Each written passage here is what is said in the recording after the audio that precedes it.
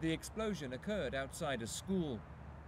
A man was driving a three-wheeled motorcycle when the motorcycle caught fire and promptly exploded.